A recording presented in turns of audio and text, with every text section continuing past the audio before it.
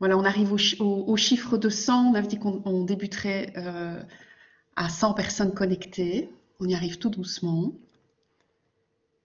Avec juste peut-être 3 minutes de retard sur l'horaire, donc euh, c'est très bien. Tout d'abord, je voulais vous remercier toutes et tous d'être là aujourd'hui. Euh, on est vraiment ravis. Quand je dis on, c'est évidemment l'équipe du Green Office, tous les étudiants, mais aussi euh, tous les acteurs qui soutiennent le Green Office à l'université, qui répondent présents euh, pour organiser des événements, pour nous soutenir dans la communication. Donc vraiment, c'est au nom d'une équipe très élargie que d'être là. On est ravis d'inaugurer ce cycle de conférences du Green Office. on aurait voulu les, les, programmer plus tôt on, voulait vraiment faire quelque chose en présentiel pour bénéficier des contacts, pour tourner dans les facultés. Euh, on ne l'a pas fait, on s'est dit on va reporter et le confinement étant toujours là, on s'est dit bon, ok, on va en ligne. Et, et vraiment, je suis ravie d'avoir autant de participants aujourd'hui euh, en ligne pour ce premier midi du Green Office. Alors peut-être un tout petit mot pour euh, ceux qui ne connaissent pas encore le Green Office. On sait que, que voilà, le, beaucoup connaissent le Green Office, mais il n'est pas encore euh, euh, connu par tous à l'université. Donc le Green Office, c'est quoi? C'est un bureau du développement durable par et pour les étudiants. Donc c'est vraiment une plateforme qui va connecter les étudiants, les relier entre eux et les soutenir dans leur volonté de développer des projets en faveur du développement durable. Alors, le Green Office a été créé à l'Université de Liège il y a un peu plus d'un an, fin janvier de l'année dernière. On a engagé l'équipe au mois de février et on a commencé à travailler début février, juste un mois avant le confinement. Le confinement n'a absolument pas euh, ralenti le travail du Green Office, que du contraire. Et euh, dès le départ, euh, on, on, a vraiment développé une structure assez cadrée. On s'est assigné des missions. Je, vous, les résume ici. Il y a cinq missions essentielles au, Green Office euh, de l'Université de Liège. C'est informer et sensibiliser les étudiants sur les questions du développement durable. On participe notamment à une formation transversale. Euh, on fait des rubriques euh, sur les différents réseaux sociaux. Le midi du Green Office répond clairement à cette mission-là, informer et sensibiliser les étudiants. Le souhait aussi, notre mission aussi, c'est de créer une communauté engagée pour les objectifs de développement durable, parce que notre cadre de référence pour le développement durable, c'est l'agenda mondial 2030, donc un agenda des Nations Unies avec 17 objectifs. On, résume ça les 17 ODD. Alors, mettre en place des projets de terrain, et on va toujours lier, quand on met en place un projet de terrain, on va toujours lier l'action à la sensibilisation et vice-versa. C'est vraiment notre, fil conducteur, c'est toujours relié action et sensibilisation. On sensibilise et on met en place des, actions de terrain. Et si on met en place des actions de terrain, on veut aussi euh, donner les clés de comprendre pourquoi. Parce que c'est vrai que les thématiques du, développement durable sont des thématiques complexes, c'est des questions systémiques. Et donc, il est vraiment important de, donner des éclairages, des pistes pour avancer euh, euh, de façon éclairée et critique. Travailler en réseau, notamment avec les différents acteurs à l'Université de Liège, mais aussi avec les autres Green Office européens. Il y a vraiment un partage de bonnes pratiques qui se fait. Euh, on travaille pour le bien commun, donc le, partage de bonnes pratiques est, vraiment très efficace et permet d'avancer vite. Et puis valoriser et diffuser les bonnes pratiques, à la fois les recherches, à la fois les, les, cours, à la fois les différents projets, autant que possible, faire connaître à notre communauté ce qui se fait dans nos murs. Et c'est eh bien entendu ce qu'on va faire aujourd'hui euh, à l'occasion de ce premier midi. Alors, justement, on a décidé de faire ce programme des midis du Green Office pour répondre justement à cette mission de valoriser l'existant dans nos murs. On a décidé de faire un cycle de six conférences sur une année dans les thématiques du développement durable. Alors, elles sont nombreuses, évidemment. Si vous regardez les 17 objectifs de développement durable, les thématiques sont extrêmement nombreuses. Et on s'est dit, qu'on allait euh, commencer par euh, choisir des sujets qui sont vraiment en lien avec les projets du Green Office. Si vous voulez connaître les projets du Green Office, je vous invite à aller sur euh, la page Une Liège durable, sur la page du Green Office, et vous verrez les, les premiers projets. Alors ces conférences, elles sont en priorité à destination du public étudiant. Donc on veut que le message soit vraiment intelligible par des étudiants déjà qui, sont en bac 1. Mais bien entendu, elles sont ouvertes à toute la communauté parce que le, but c'est vraiment de créer une communauté qui soit soudée et qui avance avec des objectifs communs. Et puis, comme je l'ai dit, c'est vraiment mettre en lumière nos experts. Et donc, l'idée, c'est vraiment de, tourner, de faire tourner les midis du Green Office de faculté en faculté pour faire découvrir euh, les experts et valoriser leurs recherches, leurs cours et leurs projets. Alors aujourd'hui, euh, j'ai vraiment le grand plaisir de, vous présenter les, deux experts qui inaugurent ce cycle. C'est le professeur Benoît Dardenne et le professeur Cécile Delcourt. Alors le professeur Benoît Dardenne est professeur en psychologie sociale, donc à l'université de Liège. Il est également vice-président du département de psychologie et il est invité comme professeur dans de nombreuses universités, à Louvain-la-Neuve, à Sofia et au Maroc notamment. Alors, euh, ces, sujets d'études sont euh, sur les questions du sexisme, sur les questions des conflits entre les groupes, des stéréotypes et aussi du développement et de la santé. Cécile Delcourt, elle est professeure à HEC en marketing. Euh, elle a fait un doctorat en sciences, économiques et en sciences de gestion. Et puis elle est aussi partie à l'étranger, notamment aux, États-Unis, en Australie, aux Pays-Bas. Euh, elle est à la tête du programme de master en marketing et en intelligence stratégique à HEC. son sujet d'étude, c'est vraiment comprendre les processus de décision chez les consommateurs. Et ce qui, la motive euh, dans, son métier d'enseignant à l'université, c'est de sensibiliser les, futurs gestionnaires, euh, euh, qui vont façonner le monde d'aujourd'hui et de demain, aux enjeux actuels et à venir, en prenant en compte non seulement les aspects économiques, puisqu'elle est HEC, mais également les aspects sociaux et environnementaux. Et donc nos deux experts se rejoignent sur euh, la volonté de, comprendre euh, les freins et les leviers dans, l'adoption de, comportements euh, responsables. Et aujourd'hui, vous vous parlez de la technique du nudging. Et donc je leur donne la parole. Chacun vont vous faire une petite présentation d'une vingtaine de minutes. Et ensuite, on fera un moment d'échange, questions-réponses. Merci beaucoup déjà, vous deux. Merci. Alors, je vais partager mon écran. Si ça fonctionne. Ok, ben, pour moi, ça fonctionne. Vous voyez le, ma première oui. Oui, Benoît.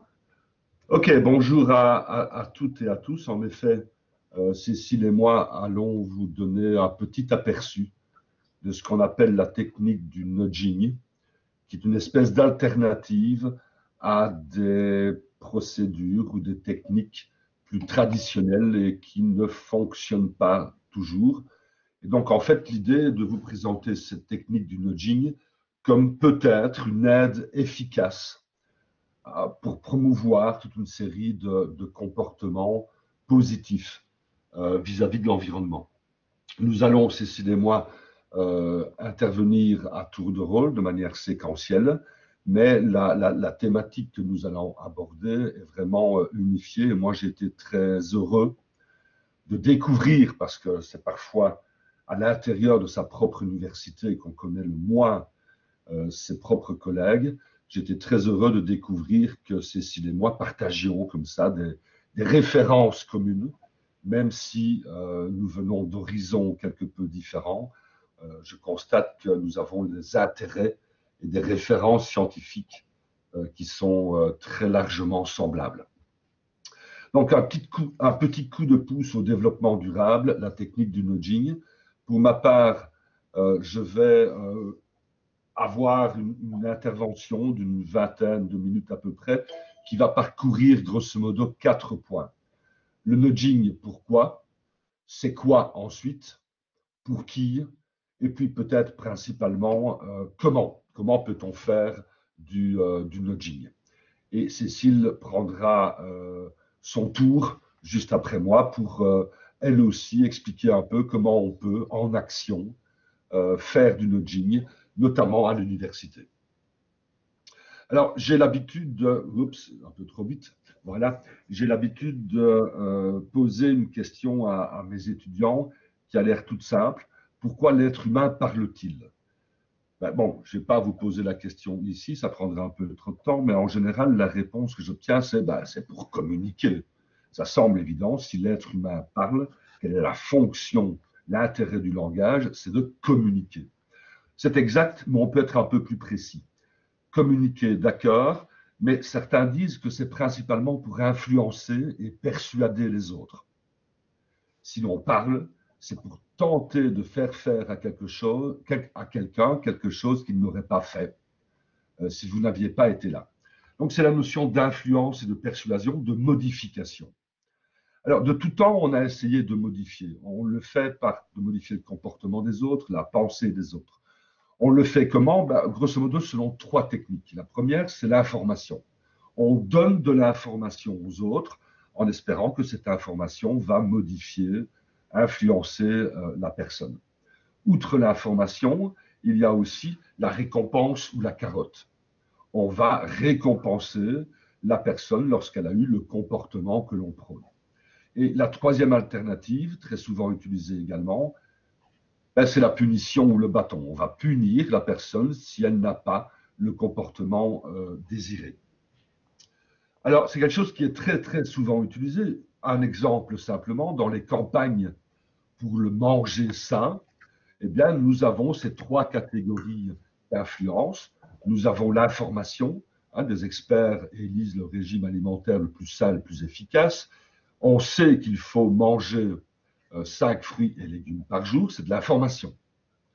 Mais on nous récompense également, on nous dit, écoutez, si vous mangez sainement, vous allez gagner 10 ans de vie et en bonne santé. On nous punit également, on nous dit que la nourriture, la malbouffe, ben c'est dangereux, c'est la mort qui se rapproche. Donc ce sont les trois grandes manières d'influencer dans ce domaine en particulier, mais dans beaucoup d'autres aussi. Est-ce que ça fonctionne? Ben, Si vous prenez cette carte, vous avez le taux d'obésité avec un indice de masse corporelle supérieur à 30 à travers l'Europe.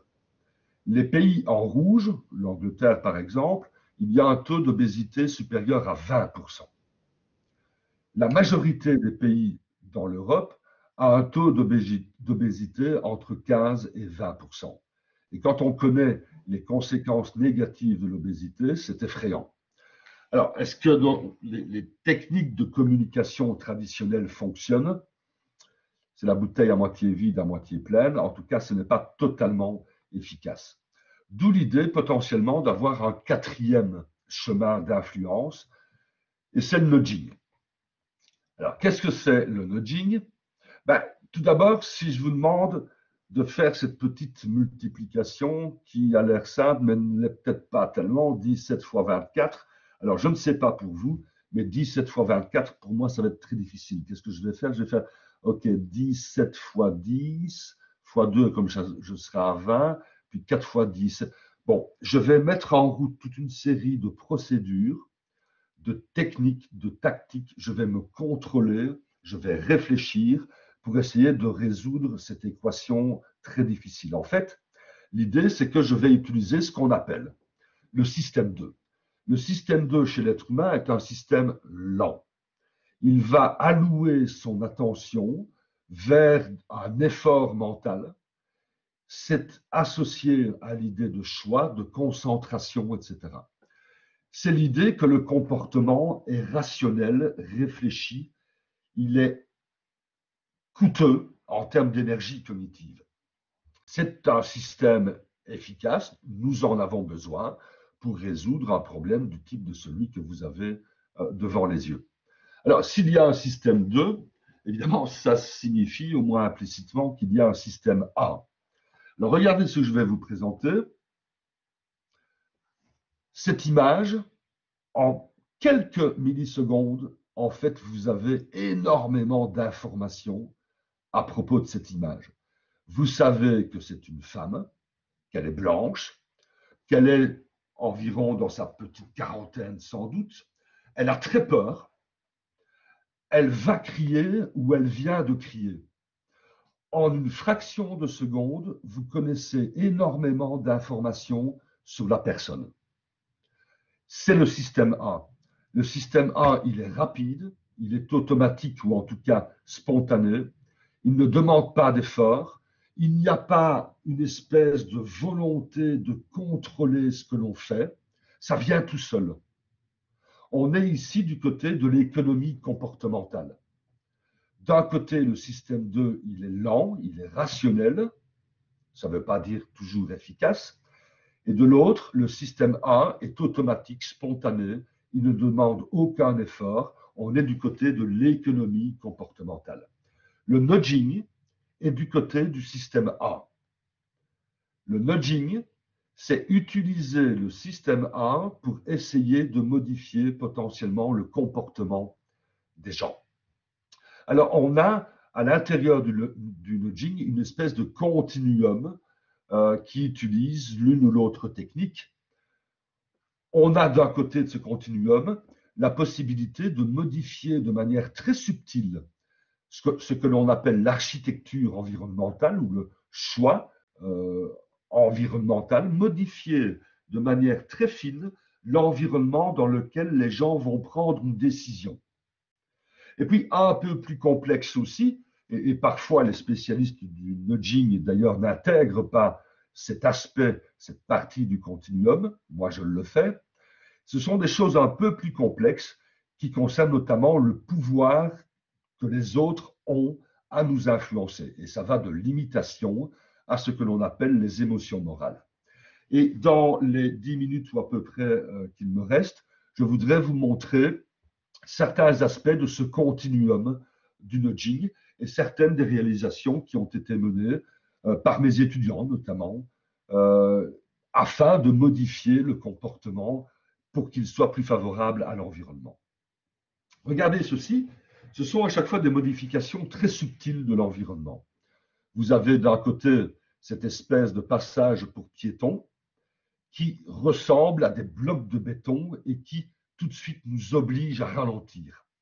Vous avez aussi ces escaliers qui sont transformés en touches de piano et qui nous obligent à jouer avec nos pieds sur ces euh, touches de piano. Ce sont des modifications subtiles de l'environnement qui nous aident, qui nous obligent à freiner, qui nous oblige à faire de, l'exercice. Alors, il y a quelque chose que j'aime beaucoup, c'est quelque chose qui a été réalisé dans un aéroport à Schiphol euh, en, Hollande, et ça a consisté à simplement, dans les urinoirs, pour les hommes, à mettre une petite mouche à l'intérieur de l'urinoir. Et comme vous le savez toutes et tous, l'homme est un animal qui aime tirer, eh bien, on s'est aperçu qu'avec cette petite mouche, les WC étaient beaucoup plus propres il y avait beaucoup moins de gouttes d'urine qui parsemaient euh, le, sol des toilettes des hommes grâce à cette petite technique de nudging. Bon, ça a l'air stupide, mais c'est efficace. Plus près de nous, je ne sais pas vous, mais moi, j'ai remarqué que depuis quelques années, quand j'essaie d'imprimer, que ce soit chez moi ou au travail, euh, des, feuilles à partir de Microsoft euh, Office, eh bien, à chaque fois, par défaut, on me propose d'imprimer sur les deux faces des pages. Alors, au départ, je dois vous dire que ça m'a beaucoup embêté parce que parfois, ben, je voulais euh, n'avoir qu'une seule face imprimée, mais par défaut, beaucoup de programmes de bureautique nous proposent d'imprimer sur les deux faces d'une feuille de papier. Et en fait, c'est pas bête du tout. Un programme euh, qui s'est déroulé euh, à l'étranger, c'est pas très près de chez nous, qui s'appelle Print Green, a constaté qu'au fur et à mesure des années, il y avait une consommation accrue de feuilles de papier au niveau des imprimantes. C'est énorme, c'est une quantité fantastique de feuilles de papier. Qui dit papier dit arbre et nature. Alors ils ont décidé dans, dans ce secteur de euh, un système où, et c'était avant Bill Gates, installer un système où il y avait par défaut une impression sur les deux faces. Du jour au lendemain, ou presque, là, il y a eu une diminution fantastique du nombre de feuilles utilisées grâce à cette technique en réalité de nudging. Et en réalité, il y a eu quasiment, pardon, c'est très fin là, cette souris, il y a eu quasiment 50% de papier en moins. Euh, dans ce département, ça représentait en plus de 12 000 arbres sauvés simplement parce qu'on a par défaut obligé d'imprimer sur les deux faces d'une feuille de papier. Petit, petite manipulation de l'environnement, fait quand même assez euh, gigantesque. Il se fait qu'il y a quelque temps, il y a, deux ans environ, nous avons obtenu avec une de mes chercheuses, Tania Noël, un, projet de recherche européen en collaboration avec la ville de Serein. Et en fait, l'idée est de réhabiliter l'hypercentre de Serein. Vous avez ici une carte de la ville de Serein avec au centre de ce cercle la gare de Serein. Et 800 mètres autour de cette gare, nous allons essayer de réhabiliter le centre de Serein. Et un des problèmes à Serein, un des problèmes, c'est qu'il y a dans certains des parcs verts de Serein un nombre, une quantité incroyable de déchets. Par exemple, le parc Morchamp, sur une seule semaine, eh bien, les ouvriers communaux ont récolté plus de 2 tonnes de déchets. Sur une semaine, 2 tonnes de déchets. Et un de nos objectifs est d'essayer de diminuer cette quantité de déchets. Et ce qu'on s'est dit, tiens, pourquoi est-ce qu'on ne ferait pas du nudging? Et voici un exemple de technique de nudging. Ça a été réalisé par certains de mes étudiants, Manon et Geneviève, il y a deux ans maintenant, je crois, dans un de mes cours. Elles se sont dit, tiens, on va essayer du nudging bête et simple, vraiment le plus pur possible. Et on va disposer des petits pas qui mènent vers une poubelle. La poubelle est rendue attirante, elle est dans des couleurs vives, les petits pas sont bien marqués au sol, et ces petits pas indiquent allez déposer vos déchets dans la poubelle. Alors on a aussi mesuré l'efficacité de ce petit truc. Donc on a pesé, ces étudiants ont pesé la quantité de déchets dans une poubelle nudgée, comme celle que vous voyez là-bas, versus une poubelle normale, telle qu'on peut la voir d'habitude dans un parc.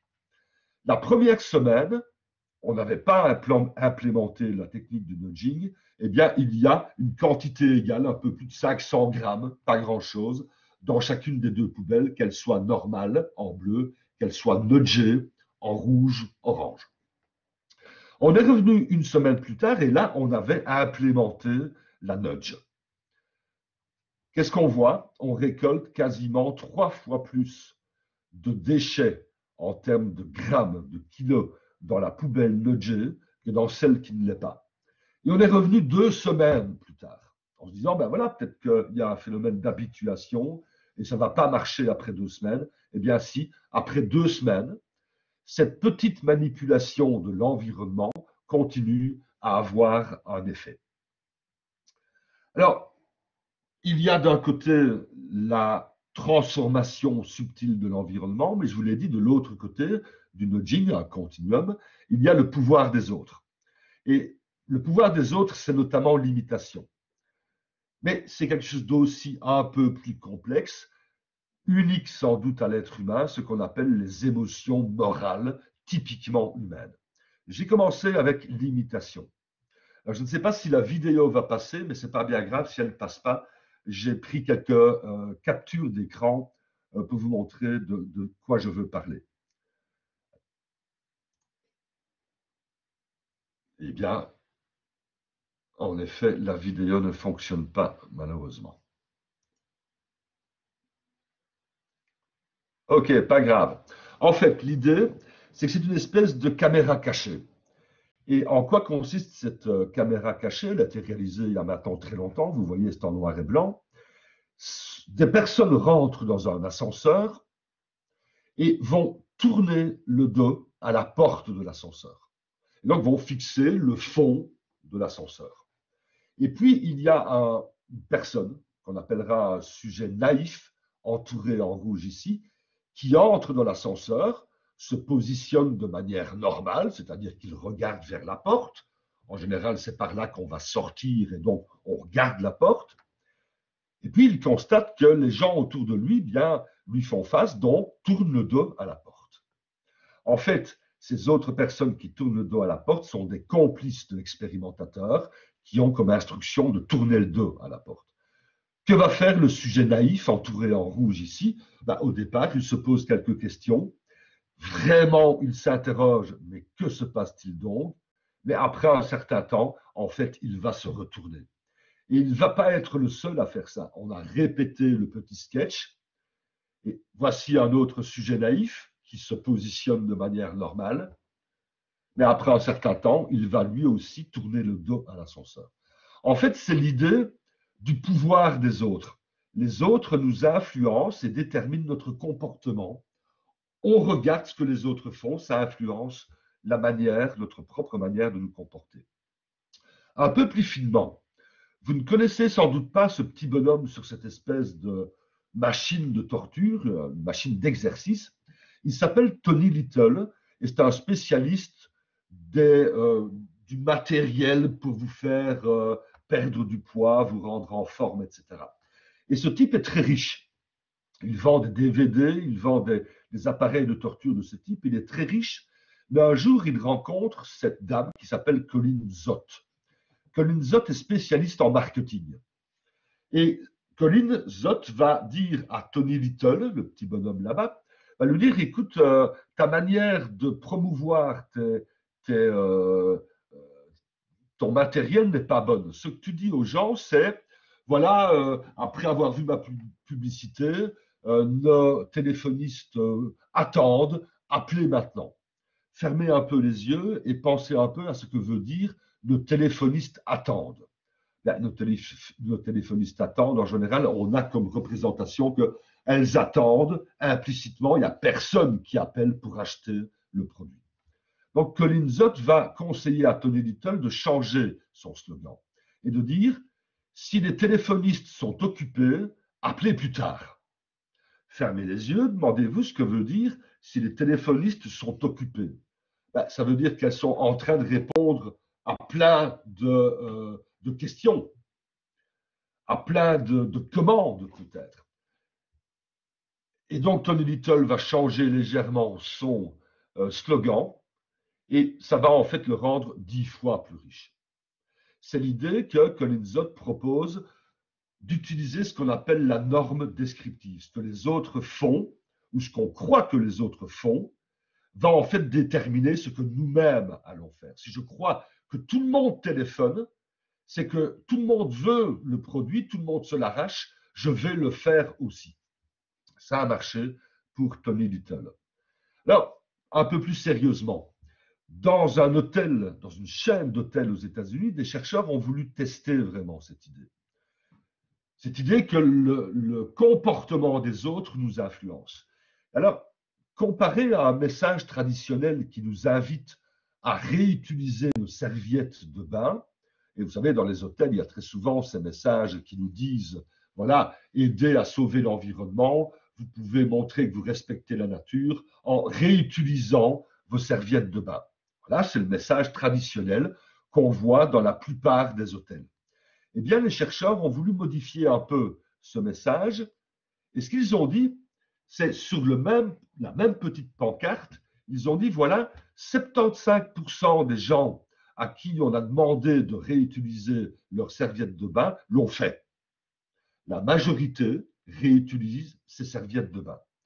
Eh bien, comparé au message traditionnel, standard, où il y avait euh, seulement 35% de réutilisation des serviettes de bain, on a atteint presque 45% de réutilisation des serviettes de bain en modifiant un petit élément qui fait appel, appel en fait à l'imitation. 10% de réutilisation en plus, ça paraît pas beaucoup. Ce sont des millions de dollars d'économiser pour les entreprises et surtout, on pollue beaucoup moins parce que les entreprises qui nettoient les serviettes de bain utilisent beaucoup de détergents qui polluent. Simplement en modifiant un petit peu l'environnement et en faisant appel à euh, la norme euh, descriptive. Alors le problème, c'est qu'on a dit, souvenez-vous, 75% des gens. En fait, ce n'est pas vrai, puisque 35% des gens, naturellement, réutilisent leurs serviettes. Donc, on a menti. Et on sait tous, on nous a tous appris très jeunes que mentir, c'est pas beau. On ne peut pas mentir. Ben, Peut-être alors qu'on pourrait se servir d'un phénomène encore un peu plus fin. Et en fait, ce sont à peu près les mêmes auteurs qui, un peu plus tard, ont fait une autre étude en se servant cette fois à nouveau de ce qu'on appelle la norme, mais la norme tendancielle. C'est quoi la norme tendancielle C'est l'idée que, OK, il y a peu de gens qui le font, mais il y en a de plus en plus. Pour coller à l'étude précédente, il y a peu de gens qui réutilisent leurs serviettes, mais il y en a de plus en plus. Et c'est ce qu'ils ont fait explicitement. Ils ont présenté soit un message qui disait, voilà, 48% des gens font ceci, peu importe quoi, précisément, mais c'était en faveur de l'environnement. 48% le font, c'est donc une minorité, mais on vient de 17% il y a deux ans. Donc il y a de plus en plus de gens qui le font. Dans un autre cas, c'était exactement les mêmes instructions, sauf que l'on enlevait cette petite partie qui montrait qu'il y avait une augmentation de l'adhésion à ce comportement. Donc très semblable comme instruction, mais dans un cas, on dit il y a de plus en plus de gens qui le font. Eh bien, cette étude est une des rares à l'heure actuelle à, à, avoir montré cet effet. Il y a encore peu d'études, malheureusement, mais en tout cas, ça a l'air de fonctionner. Même si un comportement est minoritaire, quand on dit mais de plus en plus de gens le font, eh bien, ce comportement semble être efficace pour provoquer une imitation et faire en sorte que les personnes vont non seulement imiter, mais donc dans ce cas-ci avoir un comportement favorable euh, à l'environnement.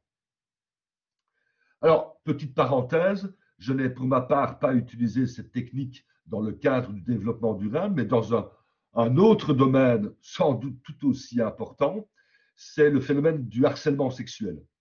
Eh bien, une de mes étudiantes a utilisé exactement cette technique de la norme tendancielle en disant de plus en plus de témoins de harcèlement interviennent.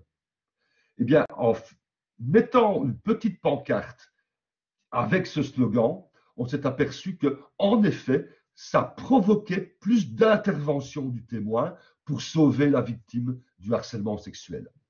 Bon, c'est un tout autre domaine de, de, recherche, mais il y a des choses à faire, manifestement, et c'est intéressant dans ce domaine. Toute dernière chose, les émotions morales. C'est quoi les émotions morales? Ce sont des émotions typiquement humaines, comme la culpabilité. Vous savez, quand, vous faites quelque chose de pas bien, eh bien on se sent coupable. Et l'intérêt de la culpabilité, c'est que bien souvent, on essaie de réparer quand on se sent coupable. Et ce qu'on a utilisé, c'est une forme un peu particulière de culpabilité. Ce n'est pas la culpabilité suite à un comportement que vous auriez eu, mais suite à un comportement que les autres comme vous auraient eu. En fait, ce qu'on a dit à des étudiants de l'Université de Liège, c'est qu'une étude récente a montré que les étudiants, les autres, de Liège, eh bien, ils ne sont pas terribles en termes de consommation durable ils polluent, ils jettent leurs déchets, ils ne recyclent pas, etc. etc. Donc, on n'a pas dit c'est vous qui polluez, on a dit les étudiants de votre université, de votre université, ils ont tendance à polluer beaucoup. En fait, ce qu'on a induit chez nos participants, c'est l'idée d'une culpabilité, mais elle est collective. On ne sait pas si chacun de nos participants pollue. On dit les gens de votre groupe universitaire polluent beaucoup.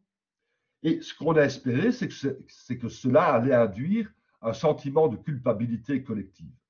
Bien, en fait, on s'est aperçu que si on induisait un sentiment de culpabilité collective, il y avait plus de comportements respectueux de la nature. Mais pas directement. Ce n'est pas un effet direct.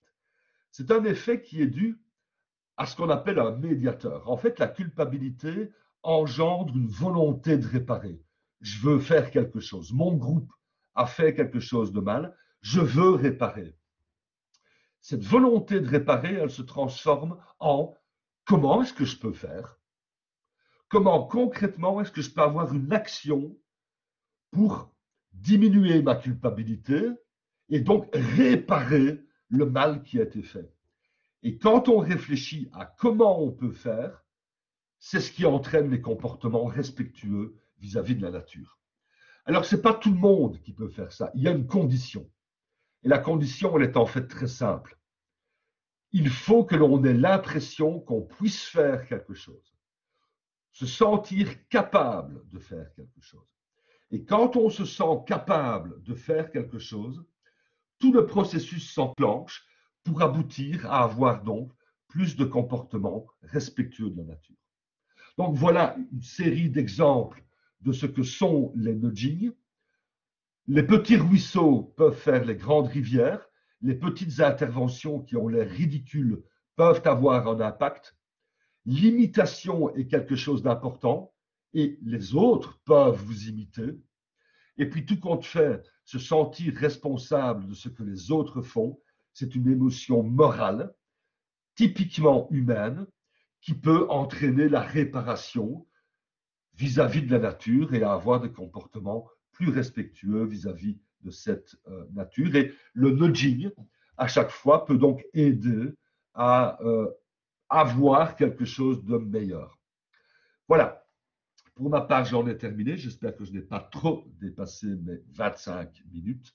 Et je euh, vais enlever mon écran pour passer à l'écran et à la parole de Cécile. Merci beaucoup. Merci. Merci beaucoup Benoît. Donc on va passer à un autre, un autre écran normalement. on va voir tout de suite si ça fonctionne bien. Euh, voilà, donc Benoît vous a proposé une définition. Je, je vais proposer aussi une, autre définition, mais vous allez voir que c'est tout à fait euh, complément, complémentaire comme, comme, définition. Donc ici, on parle bien de, de, changements subtils de fait dans l'environnement dans de la personne qui va résulter dans une, dans une volonté chez la personne de changer de comportement sans parfois s'en rendre, compte. Et euh, maintenant, vous avez partagé des, exemples, je vais, vous en, euh, je vais vous en donner aussi. Autrement dit, enfin, je reviens au titre qu'on qu'on vous a proposé.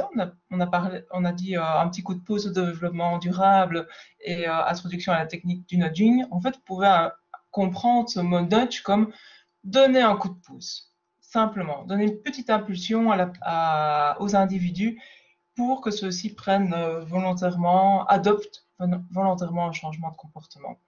Et en fait, ce qui va se passer, j'aime bien de comparer la technique euh, du nudging au, pendule de Newton. Hein. J'imagine que vous avez déjà tous euh, testé ce pendule hein, avec vraiment un léger petit coup de pouce. Ben, vous arrivé à mettre à faire bouger toutes les billes du, pendule. C'est vraiment ça la technique du, du, nudging. Alors, moi, ce que j'adore faire euh, quand je parle, j'introduis la notion de nudging, c'est euh, quand on est en présentiel, c'est en fait de nudger les étudiants euh, en présentiel. Et donc, je vais, alors pour ceux qui viennent d'HEC, je, je, je, j'en vois qui, viennent, qui viennent d'HEC. J'aime bien le local le 126 ou le 130. Hein, ça, c'est pour la petite, la petite anecdote. Alors pourquoi? Parce que dans ce local, donc c'est pas un auditoire comme vous le voyez ici. Euh, c'est un, local traditionnel. Et alors, bon, le, problème est le suivant pour les professeurs, c'est que les étudiants ont tendance à privilégier à aller dans, le fond de, la salle de cours, dans le fond de l'auditoire, au détriment de très bonnes places euh, ici devant. Donc pour nous, en tant que professeurs, c'est quand même beaucoup plus facile de vous voir, de vous entendre, et ça nous évite de devoir porter la voix pour que ceux du fond hein, euh, doivent nous entendre. Et donc, euh, l'idée ici, mon, problème, c'est comment est-ce que je peux inciter, mais sans contraindre, les étudiants à plutôt s'installer à l'avant. Et donc de ne pas leur dire, donc de pas dire aux étudiants, s'il vous plaît, asseyez-vous à l'avant. Ça, c'est contraignant et, je vois bien, les étudiants n'ont pas envie. Et donc quand je suis dans ce, local, que j'aime beaucoup, qu'est-ce que je fais en fait dans ce local? Il y a deux interrupteurs. Et donc, qu'est-ce que je vais faire pour nudger les étudiants? Je vais euh, allumer l'avant du local et donc l'arrière du local reste euh, dans, la pénombre. Deuxième chose, euh, tout ça c'était avant Covid, évidemment. Deuxième chose, je vais ouvrir les fenêtres, mais celles du fond. Et de nouveau, celles, celles à l'avant vont rester fermées ou simplement entrouvertes, alors que celles du fond, je vais largement ouvrir les fenêtres. Et troisième élément, je vais mettre quelques chaises sur les tables. Et alors, le, le fait de mettre quelques chaises sur les tables va créer comme une barrière pour les étudiants qui vont alors s'installer de manière privilégiée à l'avant parce que bah, au fond il fait sombre, au fond il y a des courants d'air dû, euh, à la en fenêtre ouverte. Et alors ce que je peux aussi rajouter, c'est vraiment euh, si j'ai cette belle configuration dans, si j'ai pas mon beau local, ce que je peux faire aussi, c'est inscrire des consignes plutôt importantes au tableau avant de commencer le cours, donc avant que les étudiants même ne s'installent. Mais je ne veux pas les inscrire en grand.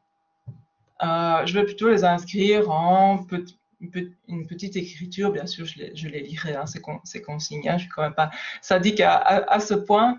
Mais quand les étudiants rentrent, je vais leur, je vais leur signaler, euh, bah, pendant que vous vous installez, vous pouvez déjà prendre connaissance des consignes importantes.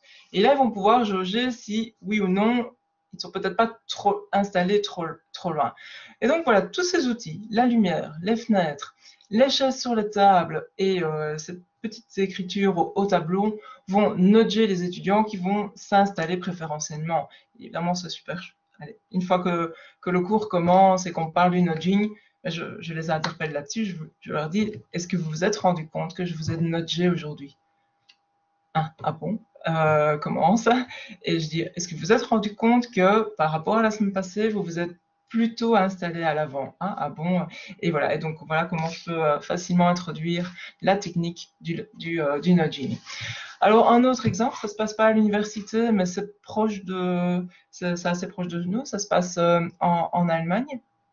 Et euh, ici, bon, avec la crise du coronavirus, on a eu beaucoup, en fait, euh, beaucoup de nudging qui se sont mis en place pour essayer d'inviter, d'inciter, de nouveau sans contraindre, euh, les, citoyens à adopter les, les, gestes de sécurité. Or, ici, c'est un nudging qui a été élaboré dans dans une grande surface, puisque la grande surface a constaté que malheureusement, euh, les, consommateurs qui attendaient dans la file avaient tendance à ne pas respecter les, bandes de marquage que, vous voyez ici. Hein. Donc normalement, tous les 1 mètre et demi, vous avez une bande de marquage. Et on voit ici sur cette photo que euh, le consommateur ici derrière ne, ne respecte pas. Celle-ci respecte, mais celui-ci ne respecte pas. Et donc, qu'est-ce que euh, qu'est-ce que cette chercheuse a, voulu mettre en place? Elle a en fait voulu tester différents dispositifs. Donc le premier, c'est le, traditionnel, hein, donc les fameuses bandes de marquage espacées d'un mètre et demi. Mais euh, donc elle voulait tester ce qui était déjà, déjà en place, mais qui ne fonctionnait pas assez, assez bien. Et donc cette chercheuse s'est dit, mais on peut peut-être renforcer, trouver en tout cas un meilleur nudge pour euh, inviter les, individus à mieux respecter ces bandes de marquage parce que peut-être qu'ils ne comprennent tout simplement pas très bien où ils doivent où ils doivent se positionner par rapport à, ce, ces bandes. Est-ce que c'est devant, sur, derrière? Donc, en fait, elle a imaginé un, un, autre système, donc les fameux petits pas. Benoît vous en parlait. Et ici, bah, elle réutilise cette idée, mais pour favoriser alors les gestes barrières, donc une distance d'un mètre et demi dans, dans la file d'attente. Donc voilà un deuxième euh, dispositif, donc mettre, coller des petits pas euh, au sol. Et alors un troisième dispositif qui a été aussi testé, euh, c'est celui-ci, donc c'est des adhésifs avec des inscriptions. Ici c'est en allemand, donc un mètre respecter la, distance d'un mètre et demi, et ici on voit en, rouge. Alors peut-être vous pouvez utiliser tout simplement le, chat. À votre avis, qu'est-ce qui a fonctionné euh, le mieux? Est-ce que c'est le dispositif numéro 1, numéro 2 ou, euh, ou numéro 3 Voilà. Et donc, de fait, euh, je vois qu'il y en a pas mal qui ont répondu le 2. Donc, le 2, en fait, a permis, avec ce dispositif numéro 2, ils ont constaté que 50% euh, de, des consommateurs dans la grande surface respectaient ce nouveau euh, dis dispositif. Malheureusement pas les chiffres pour, euh, pour celui-ci, mais en tout cas c'était l'objectif que la chercheuse voulait atteindre, c'est 50% de, respect euh, des consignes. Et en fait, ce qu'elle a aussi fait, c'est une combinaison du dispositif numéro 2 et du dispositif numéro 3. Et je vous montre tout de suite une photo ici. Donc vous avez les petits pas, la consigne euh, d'un mètre et demi et cette combinaison euh, de deux notches a permis d'augmenter euh, le respect des consignes jusqu'à 63%. Alors, donc voilà, introduction aux techniques de nudging, puisque Benoît euh, vous a fait une, une, longue introduction. Maintenant, je vais vous présenter un, projet qui s'appelle, enfin différents projets, euh, qui s'appelle le Nudge Challenge. Donc, dans, je donne un cours de comportement du, consommateur, et euh, dans le cadre de ce cours, j'invite les étudiants à créer leur propre nudge et à, et, le tester. Donc, je vais vous montrer euh, différentes initiatives euh, qui, ont été mises, qui ont été mises en place. Alors, les objectifs de, ce Nudge Challenge pour cette année, c'était d'inviter donc les étudiants à sélectionner un comportement responsable parmi les 17 ODD, les 17 objectifs de développement durable. Si vous ne les connaissez pas, je vous voilà, ils, sont, juste à côté. Et euh, l'idée, c'était de, voilà, de faire de l'université un campus plus, euh, plus durable en ciblant un, comportement durable pour changer le comportement euh, d'une des parties prenantes de l'université, que ce soit des étudiants, des professeurs, des employés, des visiteurs. Et voilà, donc ce comportement forcément devait cibler un des 17, au moins un des 17 objectifs du développement durable. Alors, dans le cadre de ce projet, euh, les étudiants sont invités donc à, faire pas mal de choses et notamment à développer une vidéo de, de 3 minutes. je vous détaille le, contenu de la vidéo parce que je vais vous montrer des vidéos et donc c'est peut-être bien que vous, que vous essayez de décortiquer en fait euh, ces vidéos. Donc dans chaque vidéo, les, étudiants doivent vraiment mettre en contexte. Ça veut dire c'est quoi en fait le, le problème? Quel comportement problématique sur lequel on veut agir grâce, euh, grâce au nudge? Puis dans, dans, un deuxième temps, il doit vraiment dire, expliquer euh, le comportement qu'il souhaite euh, promouvoir au travers du nudge et pourquoi ce comportement-là, comment ce nouveau comportement pourrait résoudre le problème. Dans un troisième temps, ils doivent présenter leur prototype de nudge, hein, donc expliquer voilà, pourquoi ce nudge et quelles sont les, théories euh, de psychologie sociale qui peuvent laisser sous-entendre que ce nudge pourrait avoir un impact euh, intéressant. Puis mettre en place une, euh, une, expérimentation, donc vraiment pour tester l'efficacité ou non de, ce nudge, expliquer ensuite les, résultats et enfin faire, faire des recommandations. Alors cette année, donc c'était vraiment une année particulière puisque on a été tous tous sans exception invités à adopter euh, de, nouveaux comportements. Euh, dans, cette euh, crise sanitaire, donc porter le masque, respecter les gestes barrières, utiliser du gel hydroalcoolique, etc., etc. Donc, qui dit nouveau comportement dit nouveau nudge. Et donc, on a eu ici, nous avons eu pas mal d'étudiants qui ont, ciblé en fait ce nouveau geste barrières. Or, vous aurez la présentation, on ne va pas passer en revue, je vous rassure, toutes les, toutes les vidéos. Je vous ai juste pointé euh, les, les, vidéos qui ont, qui ont, été, euh, qui ont été finalistes, hein. donc celles qui ont une petite astérix euh, que vous voyez ici sont celles qui ont été finalistes et ceux-ci sont les, sont les grands vainqueurs. Mais je vais quand même vous présenter deux, deux des, vidéos et je vais vous montrer aussi les, techniques que les étudiants ont, utilisé pour euh, mettre en place, euh, pour élaborer leur, leur nudge. Voilà, alors peut-être juste pour faire un petit un, mapping en fait des comportements qui ont été principalement ciblés, bah, donc sans surprise, c'est vraiment les comportements en, vue d'améliorer la, la, santé vu, vu la crise sanitaire. Alors ici, on a un projet qui a été euh, développé par euh, Florence Denet, Flore Lambert, que je vois qui est dans, l'audience. Donc je, voulais vous interpeller en faisant un petit sondage.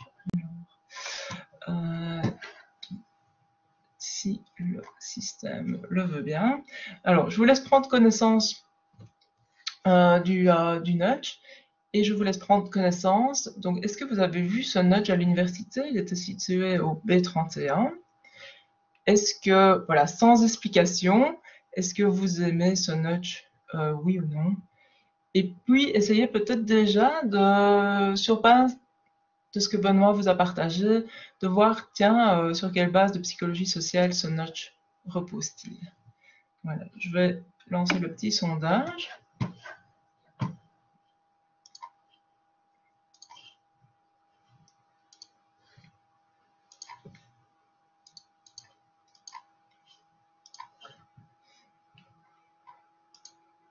Si le système le veut bien.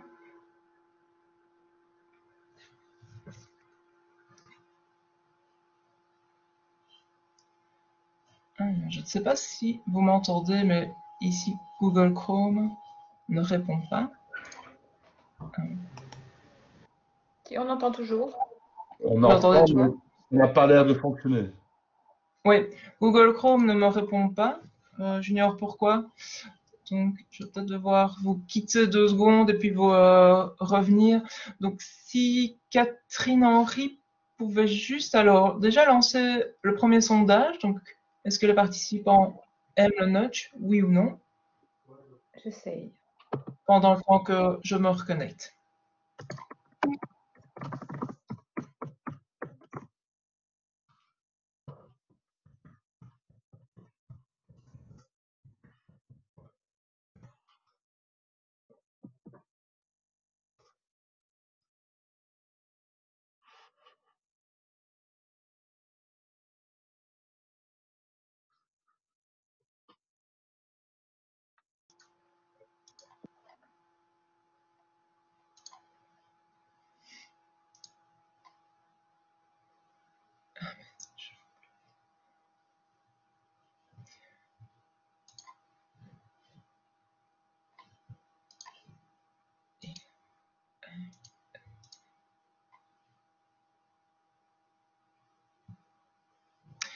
Alors, je, je suis à nouveau parmi vous, mais il faut que Catherine Henry me désigne comme présentateur.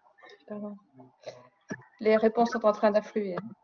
D'accord. Euh, te- Attends. Euh, faut que je te retrouve dans la liste. Voilà. Super, merci. Voilà. ouais. Super, merci. Est-ce que tu vois les réponses du sondage? Euh, oui, mais je ne vois pas les résultats agrégés. Je vois pas qui a répondu. Alors, Pour ah oui, l'instant, j'ai 54 oui, 21 non. 54, 8. Ok, parfait. Ok, pa- pa- parfait. Alors, je vais vous montrer maintenant. Je vais arrêter. Hmm.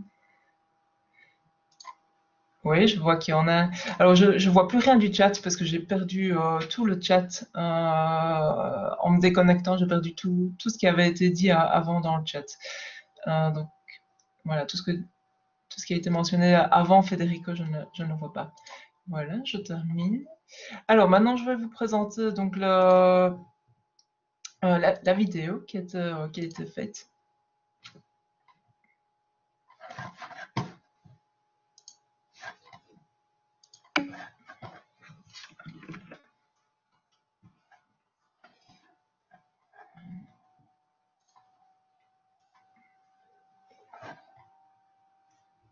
Voilà, je lance.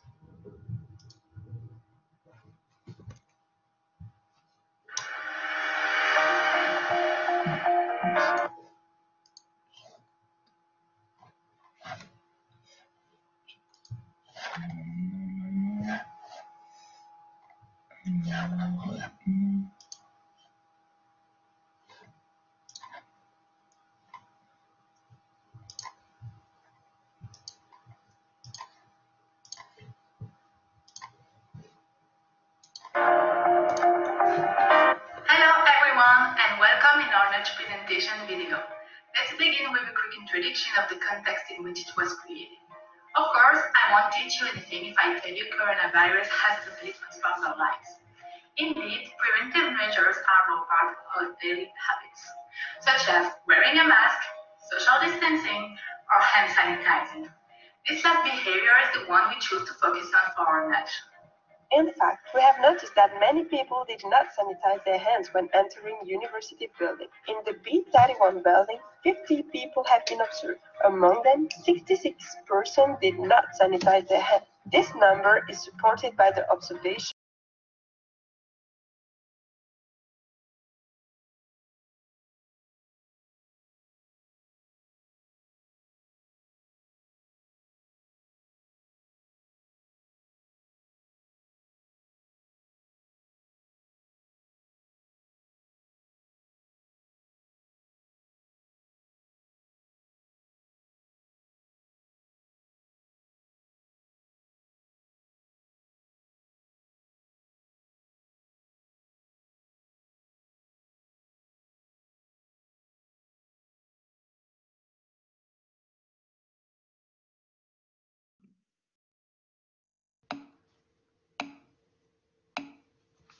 Cécile, on n'a plus de son.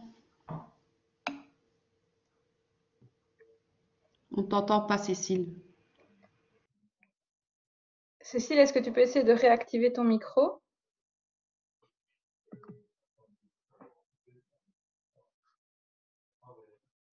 Qu'est-ce que c'est passé? Là, ça va. Ah, Oui, c'est Ok. bon, on a récupéré le son. Désolée pour la, la fausse manœuvre. Euh, pourtant, j'ai ouais, touché à rien du tout. Voilà, je vous remets. Je vous, je remets.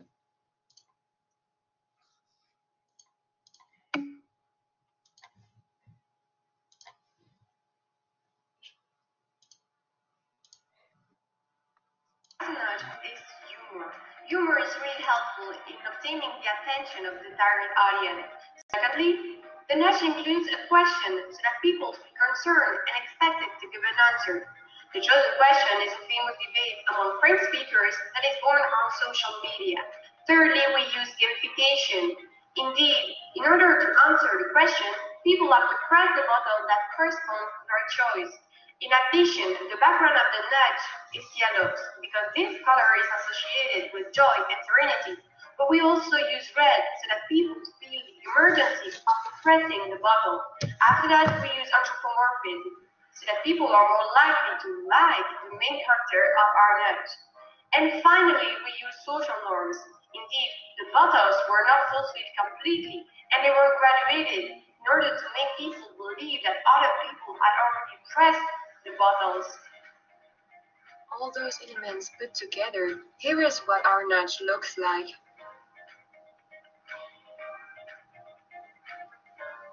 Once the nudge has been put into place, we have that time observed 100 people at the entry of the B31 building. The results were really positive.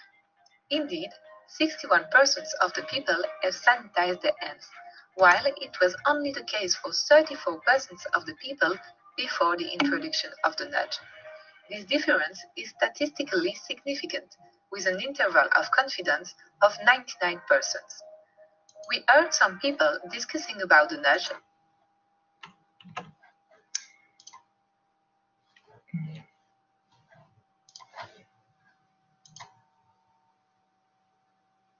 Ok.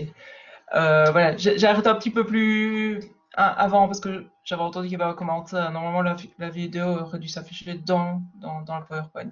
Ce n'est pas bien grave.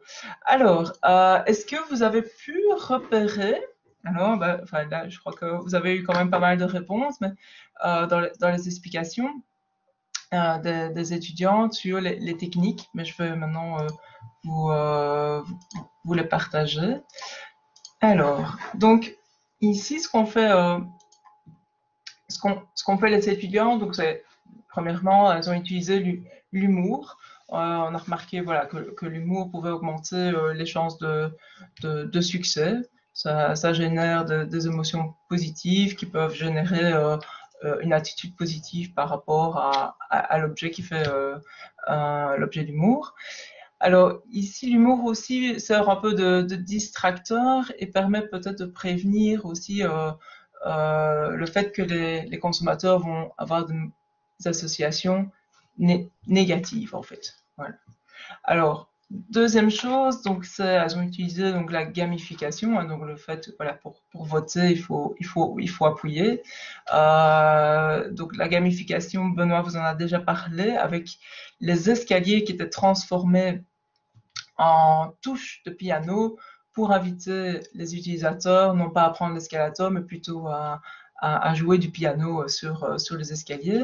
Et donc, elles ont utilisé exactement le même, euh, le, même principe, donc la, gamification. Donc, euh, vraiment, on va utiliser des éléments de jeu dans des univers, dans des univers qui ne sont pas à la base des univers de, de jeu.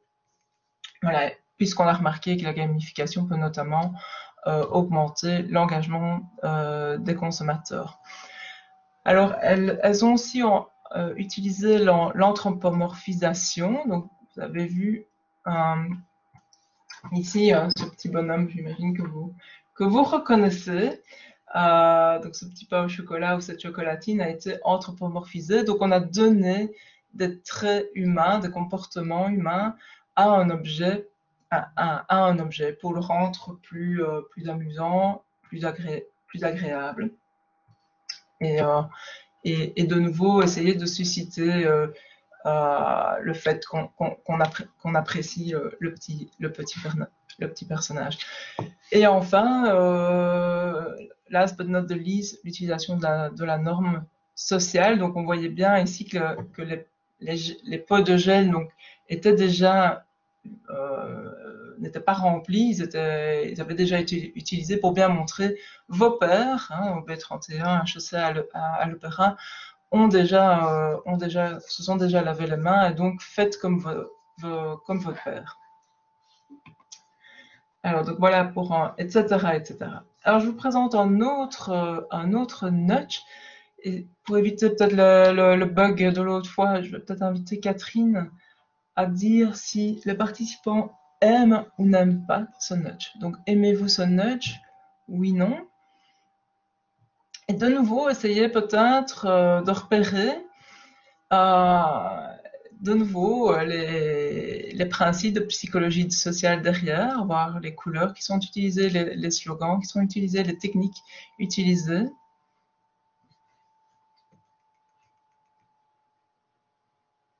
Voilà, donc le, le sondage se lance.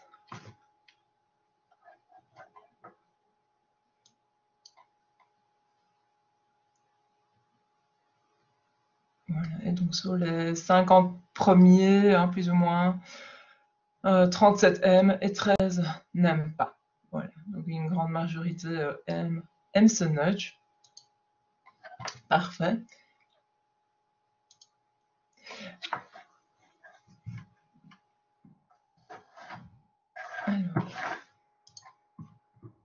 De nouveau, je vais vous montrer la, vidéo du, du groupe. J'espère qu'elle va s'afficher directement dans PowerPoint.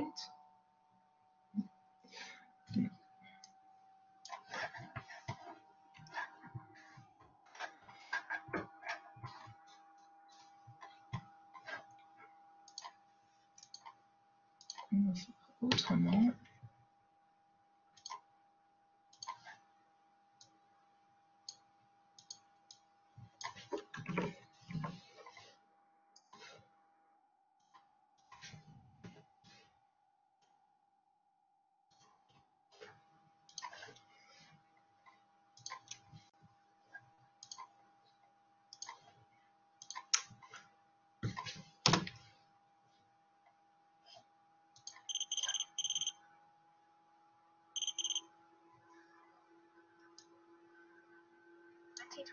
Marked by the global COVID 19 pandemic. This disease has killed more than 1.3 million people worldwide. This serious health crisis is prompting governments to take a series of measures to slow the spread of the virus as much as possible. One of the most important of these is the wearing of a mask. Given this context, the aim of your mission will be to analyze the presence of a nudge to influence people to wear face masks in the right way in supermarkets, where crowding has increased since the pandemic. Your mission will take place at Carrefour Market in St. Giles Street in Liege, to conduct the experiment in the center of a large city to have a broad data collection. During your mission, you will have to analyze the customers entering the supermarket to detect those who wear the mask incorrectly. You will be provided with two posters like these to carry out your mission. These posters are composed of drawings with captions, accompanied by a moralizing message the use of simple humoristic drawings will aim to capture the attention of the target. Your mission, should you choose to accept it, is therefore to go to Liege to raise people's awareness to wear the mask correctly.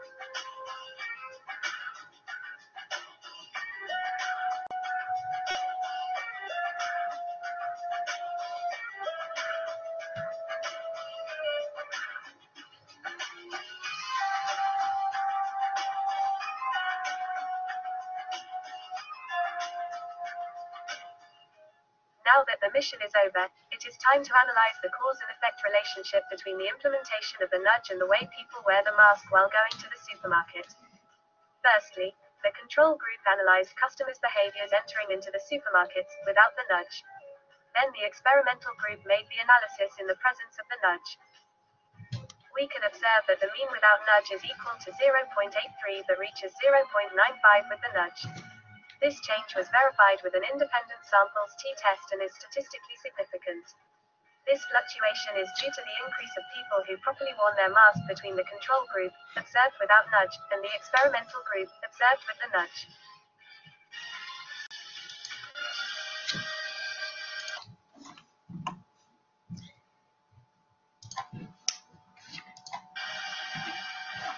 Voilà. Repartager mon autre écran.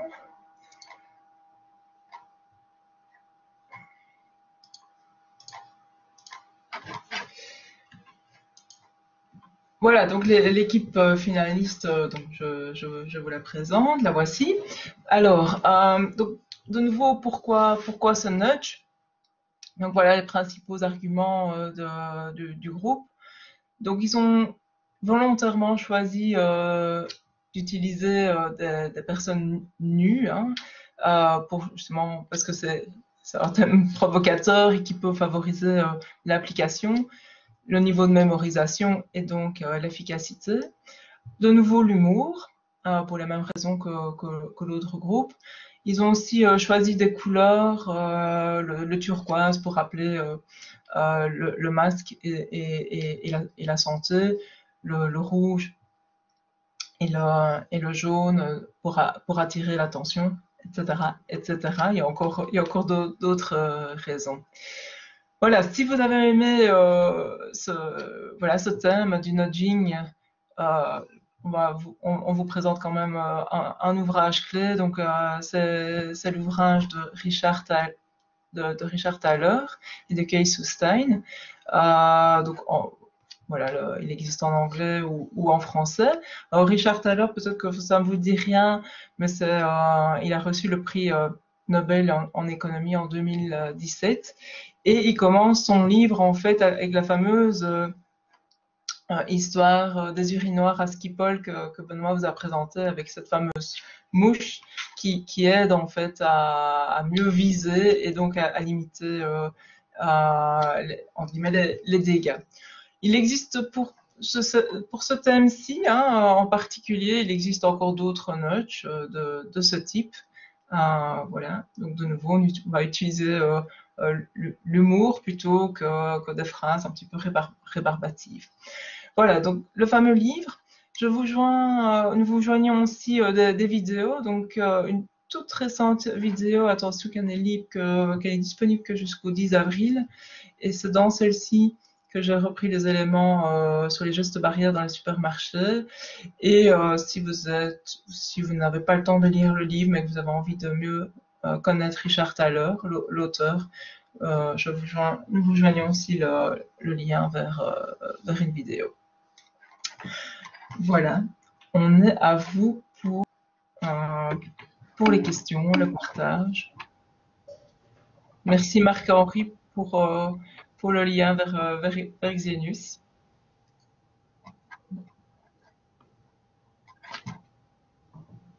Merci beaucoup Cécile. J'essaie d'arrêter le partage, mais euh, avec les deux écrans, il, voilà, le, système n'est pas toujours aisé. Euh...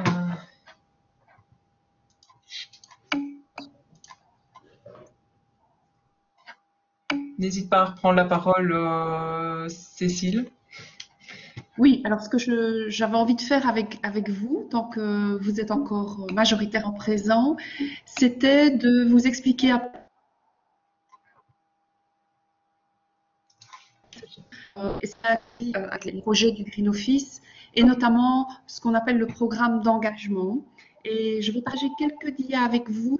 Et euh, voilà, après, je vous propose qu'on discute euh, à la fois, vous avez des discussions plus techniques par rapport aux présentations des deux orateurs ou plutôt par rapport au programme d'engagement du Green Office. Alors le programme d'engagement, c'est quoi? C'est vraiment engager notre communauté d'étudiants de l'UIège pour euh, diminuer leur empreinte carbone, vraiment en cohérence avec les objectifs des accords de prix. Et donc l'idée, c'est euh, qu'en 2030, l'empreinte carbone des étudiants euh, soit diminuée de, de 6 tonnes d'équivalent CO2 par an. Alors, où est-ce qu'on en est en moyenne euh, aujourd'hui? Si on prend l'empreinte individuelle, qu'on ne prend pas les services publics, on est aux alentours de 12 tonnes d'équivalent CO2 et on peut considérer que, parce qu'on a fait déjà une expérience pilote cet automne euh, par rapport à la question de l'empreinte environnementale, qu'on a environ 500 étudiants sensibilisés. Et donc, notre rêve pour 2030, c'est à la fois sensibilisé et qui a réduit son empreinte carbone. Et donc, on met en place un programme qu'on va jalonner avec des objectifs. Euh, et le, notre premier objectif pour la FAD cette année, c'est d'avoir euh, 2500 étudiants sensibilisés qui auront commencé cette route pour diminuer leur empreinte carbone. Alors, comment est-ce qu'on va travailler? Eh bien, euh, on va se munir d'un outil euh, fédérateur, qui est une plateforme collaborative en ligne. Euh, c'est une plateforme numérique sur laquelle les étudiants peuvent s'inscrire et on va leur proposer toute une série de challenges. Et à chaque challenge, s'ils réalisent le challenge, ils peuvent l'enregistrer. Et si finalement ça devient une habitude, eh bien, on peut euh, relier à ce challenge une économie en CO2 et l'étudiant voit son, profil. Sur son profil, de façon dynamique, les économies de CO2 qu'il va réaliser euh, Alors ça, c'est vraiment intéressant. Et si, on fait le lien avec ce que Cécile et Benoît viennent d'expliquer maintenant sur euh, l'imitation sociale, sur le fait de voir son impact, de voir l'impact des autres, c'est évidemment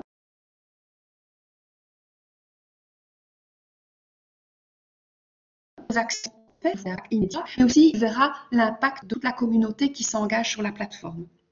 Et donc voilà, ici je vous ai mis sur la DIA, euh, sur l'image de droite, un exemple de challenge par exemple qu'on a fait cet automne qui était de dire aux étudiants mais venez euh, calculer votre empreinte carbone. Et comme je vous l'ai dit on fait une expérience pilote euh, où sans publicité on a eu plus de 600 inscrits qui ont commencé à réaliser.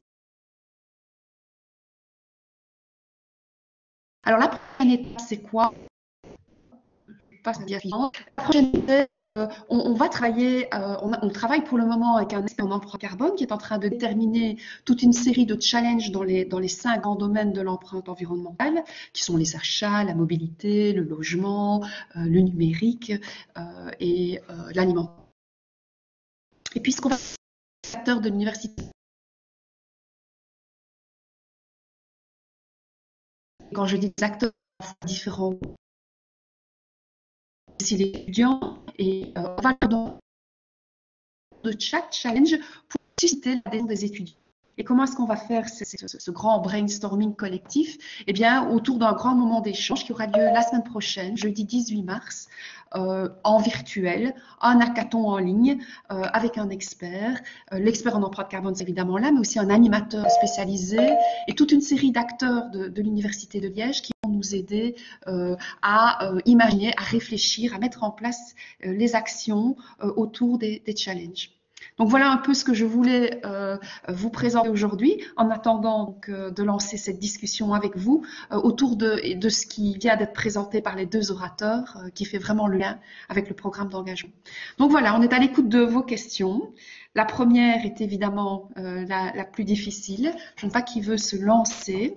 À vous, on vous laisse la, parole.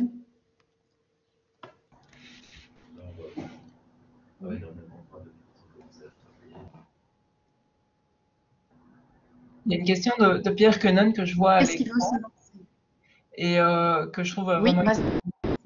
Euh, donc Pierre Quenon vous demandait euh, la technique numéro 3 hein, dans le supermarché, à savoir le marquage au sol qui rappelle, attention, un mètre et demi. Est-ce que ça reste un nudge même si ça ressemble à une obligation, à un mandat? Alors, vous avez raison de souligner ça parce qu'il peut y avoir des nudges qui sont en guillemets flous. La frontière entre obligation versus notch peut être parfois flou. Je vais vous donner un exemple. Le signe stop. Donc, quand vous vous arrêtez en voiture, un signe stop, il ne s'agit pas d'un notch. Hein, on, est, clairement dans un, panneau de signalisation qui vous somme de, vous arrêter. Donc là, il n'y a pas de, doute, ça n'a rien à voir avec, avec un nudge. Alors, dans l'exemple que j'ai donné ici, on voit que les petits pas choisis en vert, c'est bien un, nudge qui invite la personne à se positionner correctement par rapport aux autres clients. Maintenant, ce fameux marquage rouge avec, euh, le rappel hein, de, la loi, en fait, parce que c'est en tout cas une, une obligation, euh, c'est clair que on, arrive dans, une zone un peu floue. Est-ce que c'est un nudge ou est-ce que c'est un, une, obligation, une contrainte? Je vous l'accorde, euh, on est en zone grise. Je ne sais pas si euh, Benoît va, va interagir ajouter un mot par rapport à, cette question Non, je suis tout à fait d'accord. Si en effet le signe stop n'est certainement pas un nudge, par contre, les, bandes qui font du bruit, là, les, deux, puis trois, puis quatre bandes juste avant le stop, qui nous incitent, nous invitent à ralentir, serait plutôt du nudge. Mais la, frontière est toujours extrêmement floue si l'on suit la définition euh, officielle, entre guillemets, un peu à la Thaler et ce qui, etc., du nudge, bah, ça doit vraiment être une modification subtile de l'environnement. Euh, moi, en tant que psychologue social, j'ai une euh, définition beaucoup plus large. Et donc, je ne crois pas qu'il faut parler en, en termes de euh, inclusif, exclusif. C'est vraiment un continuum, les nudges. C'est vraiment l'idée d'un continuum. Oui, je, je, suis d'accord. Alors, je, je, relève une autre, une autre question. Euh, y a-t-il des conséquences non désirées, non prévues du nudging? Comment faites-vous pour les anticiper? C'est une question d'Alex. Oui, si je peux me permettre, je viens de répondre à la question d'Alex. C'est une question euh, très intéressante parce que oui, il peut y avoir des effets anticipés à ce point qu'il peut y avoir des effets boomerang. C'est-à-dire que le comportement que l'on essaie d'initier, le coup de pouce que l'on essaie de donner, peut parfois dégénérer et en fait avoir l'effet inverse. Quand vous incitez subtilement quelqu'un à faire quelque chose et que cette personne s'en rend compte, il y a notamment ce qu'on appelle la réactance qui fait que les gens font l'inverse de ce qu'on les pousse à faire. Et donc, ils peuvent grosso modo, ça veut dire quelqu'un qui se rend compte qu'on le manipule peut euh, jeter plus souvent ses déchets par terre que si on n'avait pas essayé de le manipuler. Alors, comment éviter ça? C'était la deuxième partie de la question d'Alex. À mes yeux, il n'y a qu'une seule manière de faire. C'est tester la nudge, la retester et la re-retester. C'est aller sur le terrain, c'est essayer de voir si euh, l'impact est positif, statistiquement significatif, et qu'on n'a pas ces effets boomerang ou, ou effets pervers. Oui, je, la réponse était très complète. Euh, J'abonde dans, dans, le sens de, de, Benoît. Et dans le Nudge Challenge, c'est une théorie, hein, la théorie de la réactance que, que, je partage aussi avec les étudiants en disant faites attention. Faites attention de ne pas de, ne, que, les, que les individus ne se sentent pas limités dans leur liberté. S'ils ont l'impression qu'on les, limite dans leur liberté, ils vont essayer de tout faire pour restaurer justement ce sentiment de, liberté. Donc, euh, ouais, tester, retester, il n'y a pas d'autre chose à faire et puis bien sûr je veux dire, lire ce qui s'est fait dans le passé et voir déjà les résultats de, des autres études pour éviter de tomber dans les mêmes écueils.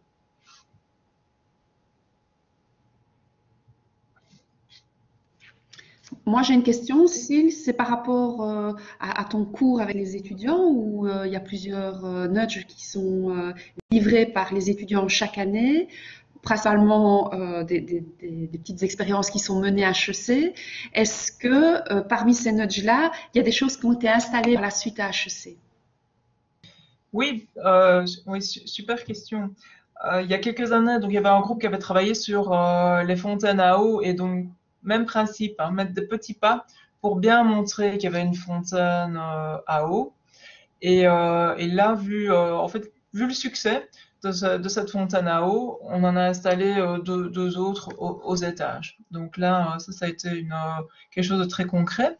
Il y a une autre année où on avait distribué des, des, gourdes réutilisables, voilà, à, en guise de prototype. Hein. donc on s'était dit, voilà, on va, on va voir si les étudiants voilà, ça, ça, leur plaît ces, gourdes, s'ils les, utilisent, etc. Donc, voilà, il y a eu tout un système de comptage, etc. On avait donné, euh, voilà, un, échantillon d'étudiants et on regardait dans le temps s'ils continuaient à l'utiliser.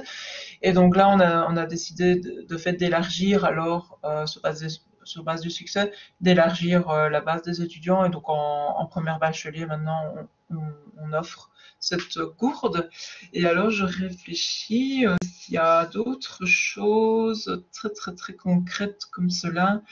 Euh, sans doute, mais euh, voilà, je, je, sais pas, tu me prends un peu de cours, mais je, je, ne pense pas. Alors, je te, je te lis une question.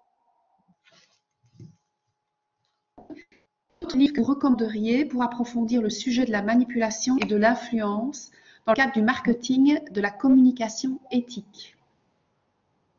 Ah, oui, parce que donc dans, influence et persuasion, euh, Benoît vous a parlé de, l'expérience euh, dans les hôtels de la réutilisation des serviettes. Et donc là, il y a un excellent ouvrage de Cialdini. Voilà, je vous le mets, qui a vraiment un, grand nom de, l'influence et de la persuasion. Euh, alors, euh, petit traité de manipulation à l'usage des honnêtes gens, c'est aussi un, livre assez sympa à lire. Et Benoît, est-ce que tu as des recommandations?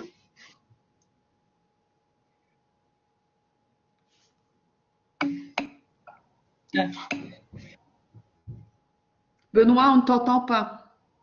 Et Marc-Henri Bauin, éthique et manipulation dans... C'est normal que vous ne m'entendiez pas. J'étais parti chercher un livre. Euh, si vous pouviez mettre ça en grand écran. Oui, il faudrait que tu, arrêtes de partager ton écran alors, Cécile, pour qu'on voit.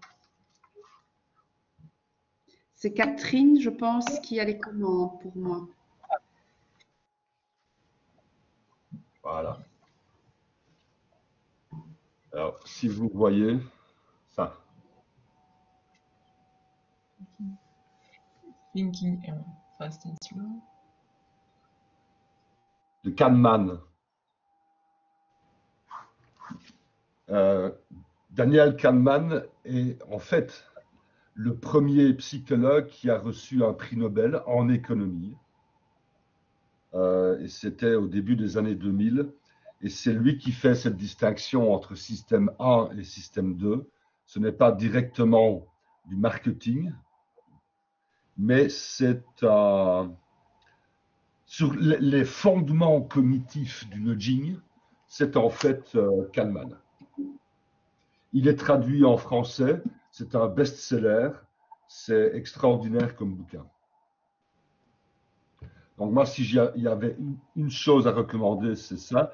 Cialdini, évidemment, avec euh, son bouquin qui lui a permis de s'acheter un yacht, cinq maisons et compagnie qui s'appelle euh, Manipulation, qui parfois change de titre d'ailleurs. Et il a récemment euh, écrit un bouquin qui s'appelle Pré-persuasion. Et c'est l'idée qu'on va mettre en place dans l'environnement des choses qui vont faire en sorte que naturellement, la personne va quelque part s'auto-persuader. C'est un peu à la base des nudges aussi. Et donc, il y a ce bouquin Manipulation, qui est un best-seller depuis les années 80. Il faut savoir que quand Cialdini a publié la première fois ce bouquin euh, Persuasion, personne n'en voulait. Et donc, il a publié à compte d'auteur. Et puis maintenant, c'est un des best-sellers euh, en psychologie sociale, c'est extraordinaire. Et donc, plus récemment, Pré-persuasion. Alors, le Beauvois et Joulet, ça date un peu. Hein le petit traité de manipulation à l'usage des honnêtes gens. Ça date un peu, mais ça reste euh, extrêmement rigolo à lire. Et puis le prochain bouquin, ce sera celui que Catherine ou Cécile et moi écrirons ensemble, sans doute. Avec plaisir. Ok, une, une question d'Antoine Gavrois. Pour toi, Benoît. Vous présentiez les chiffres d'obésité en Europe pour justifier le fait que la communication ne fonctionne pas? Est-ce possible d'appliquer le nudging en en, en communication de masse Souvent en présentation. Mais bon, moi, je ne suis pas un marketeur, hein, donc je, ne sais pas. Mais il y a des études superbes, simplement. Le, nudging, dans le cas de euh, l'obésité ou de la malbouffe, ne consisterait pas à augmenter le prix des, euh, de la bouffe, de la malbouffe.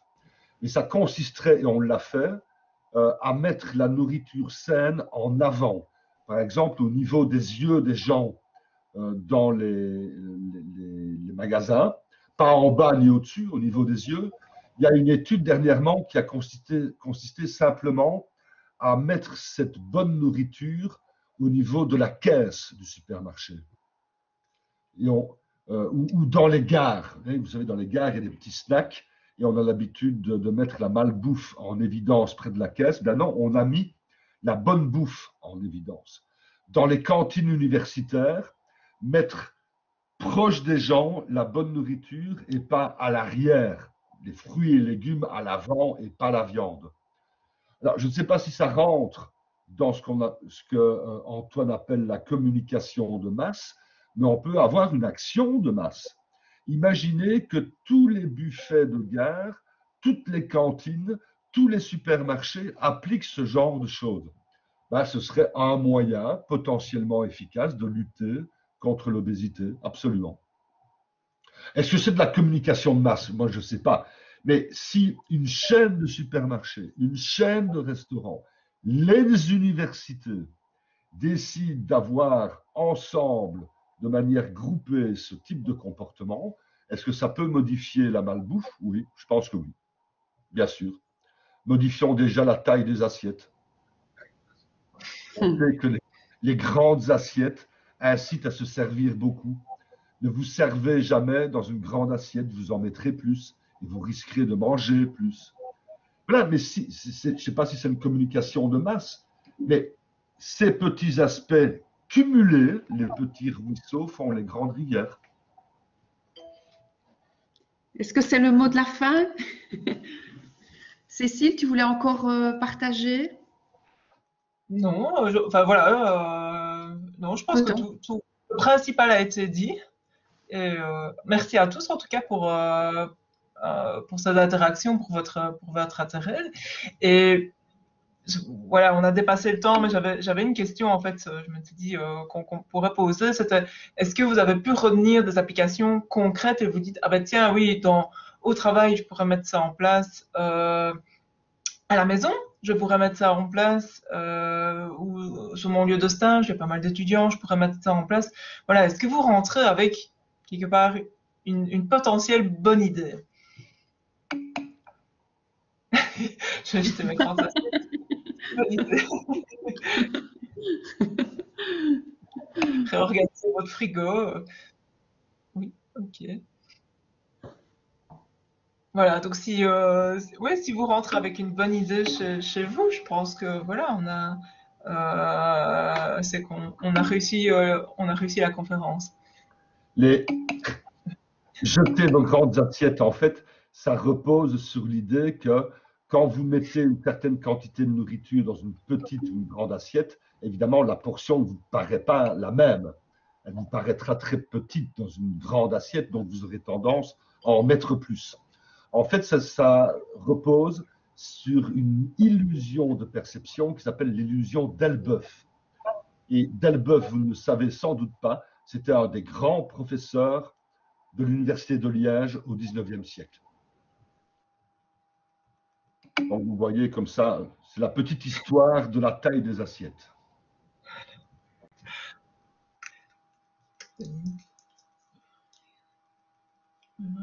Ok, parfait. Cécile, je te laisse. Te- Quelqu'un qui demande euh, comment dessiner, s'il y a quelqu'un pour venir dessiner une mouche. Dans- on peut créer ici? Je ne me présente pas comme candidat.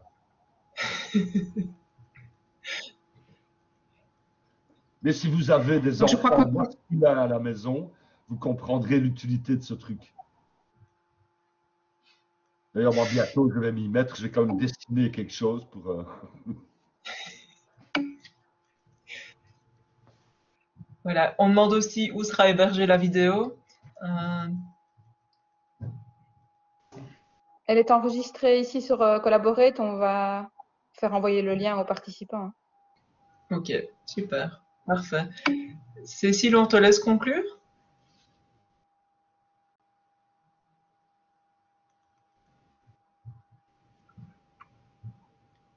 Bah, je pense qu'on peut clôturer ici le premier midi du Green Office. Encore un tout grand merci à vous tous d'avoir été aussi nombreux. Encore un grand merci à nos deux orateurs. Merci à Trine également d'avoir été euh, là aux manettes. Euh, J'excuse aussi les personnes qui voulaient être présentes aujourd'hui et qui n'ont pas pu l'être, notamment les directeurs Office. Et, euh, et voilà, j'espère que vous repartez avec plein de bonnes idées et aussi que vous avez envie de participer à l'hackathon et de venir partager ces idées pour euh, qu'ensemble on, on réduise l'empreinte carbone de, de toute la communauté. Voilà.